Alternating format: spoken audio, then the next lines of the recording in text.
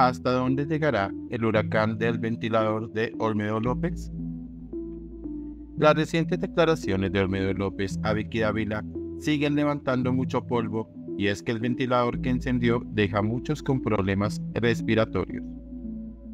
Lo que ha dicho López puede llevar a concluir que, desde lo más alto del gobierno, se orquestó el plan corrupto para comprar conciencias de congresistas y así obtener en el legislativo un camino expedito para convertir en ley las propuestas del gobierno. Ha señalado que hubo ministros y jefes de departamentos que trataron el plan y dieron la orden de ejecutarlo.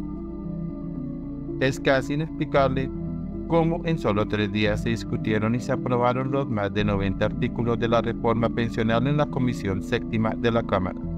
Es muy sospechosa esa actitud de eficiencia legislativa en un proyecto tan sensible y que ha presentado tantos argumentos en contra. Olmedo López fue claro al decir que el representante del Partido Conservador, Walid Mansur, se vendió. El congresista es el presidente de la Comisión de Acusaciones de la Cámara, entidad que ha solicitado se le entreguen todas las investigaciones que se adelantan contra el presidente Gustavo Petro y su campaña por actos de corrupción en el asunto de la violación de los topes. Este tema de los carrotanques va más allá de los vehículos, toca a aforados.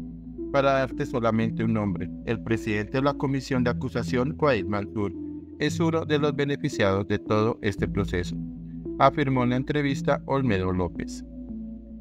El exdirector de la Unidad de Gestión de Riesgos de Desastres, ULGRD, coincide con las declaraciones del subdirector de la entidad, Sneider Pinilla. Ambos han afirmado que tienen todas las pruebas y que serán entregadas, a la vez que se comprometieron a contar toda la verdad sobre estos actos de corrupción. Además que son muchas las personas que están implicadas. El país entero está esperando que se entreguen las pruebas que dicen tener los implicados. Por ahora funcionarios como el ministro del Interior, Juan Fernando Velasco, el presidente del Congreso, Iván Nave, el presidente de la Cámara, Andrés Calle, la ex consejera para las regiones, Sandra Ortiz, el presidente de la Comisión de Acusaciones, Guaid Mansur, se rasgan las vestiduras y proclaman a los cuatro vientos su inocencia. Anuncian demandas porque nos han calumniado. Pero como dicen por ahí, cuando el río suena. Ambos funcionarios han denunciado que temen por su vida. Por esto solicitan que refuercen los esquemas de seguridad para ellos, sus familias y abogados.